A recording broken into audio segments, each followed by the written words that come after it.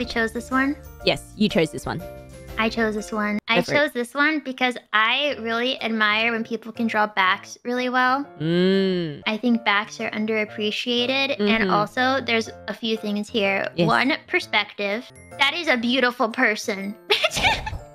my gosh, the eyes, the shading. You have like the shading of the straw. It's Yes. kind of messy, but Yes, I really like the shading of the straw hat. Yes. Right? Even on the arms, we see it. Yes. Right? Yes. Right? Yes. And then the, how the shading from the hat, it's maybe it, there's so much shading on one side, but then we have she's in the sun, so it's so bright. The contrast, it's so freaking good. And look at the back Look at the dimples, babe. The back Look at dimples. Back dimples. What, what's that? Dimples, dimples. Oh, the you know, you have back dim- dimples on your cheek. the back dimples. dimples.